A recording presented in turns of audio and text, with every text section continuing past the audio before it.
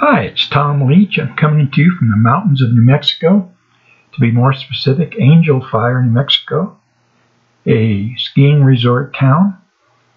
Uh, today I want to talk about blogging. Why blog?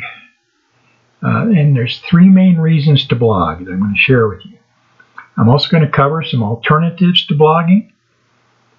Uh, for example, you know, you're starting your business, you're being told to go out and market your, your friends and your family.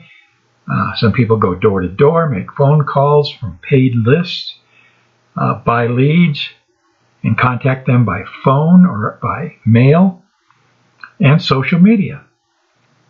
And then uh, the three main reasons we're going to discuss the blog are that the blog posts, they leverage your time.